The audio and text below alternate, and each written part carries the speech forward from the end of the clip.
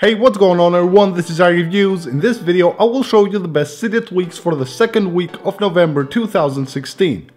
Why join? This tweak will show you the current network, Wi-Fi network that you are connected to whenever you connect to a network. So you can see here, if I tap to connect to Wi-Fi, it will show me right here the name of the Wi-Fi that I'm connected to. So if you go to the settings of this tweak, you will have an enable button to enable or disable this tweak and also you can invert the colors of the text and of the pop-up that shows you to which network you are connected to. You can also go to the Wi-Fi settings simply by tapping and holding the pop-up that shows you to which network you are connected. Rift Board. This is a pretty awesome tweak which allows us to have access to your home screen apps from any of your apps. So here I'm on the settings app, but if I double tap on the status bar, you can see it will take me to my home screen. So these are my apps on the home screen and I can open and use any of them directly from here. If I want to dismiss them, just tap the home button.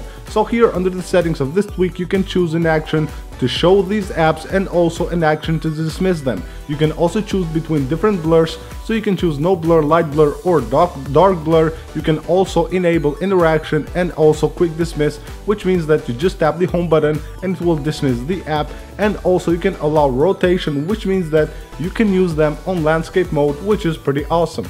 Emoji Suggest. On iOS 10 there is a feature when you tap on your keyboard on the predictions you can see emojis. So if you tap for example bus it will show you a bus here the emoji bus you can see it right here and you can enter it on the text so you can replace the text with an emoji which is pretty cool. So this tweak will bring this feature to iOS 9 and all you have to do is install it and enable it right here and then you can choose if you want the emoji to replace the current text or if you just want to add the emoji, then respring your device for the changes to take effect.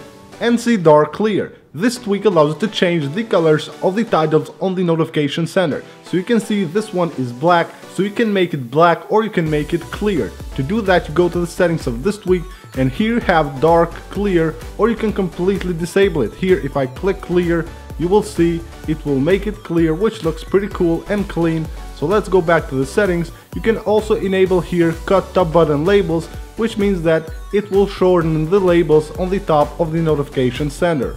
And the last tweak for this video is called NC Text Color which allows you to change the colors of the text on the notification center. So you have here two sections, you have the notification sections and also the today section. You can change the color of the header and of the text on the notifications and also the date color and also the text color on the today section. So you can see here if I go to the notification center you can see here blue date and if I go to notifications here you can see the title is purple and also the text is blue which looks pretty cool and on the settings of this tweak you also have an enable button where you can enable or disable this tweak and then you will need to respring your device for the changes to take effect.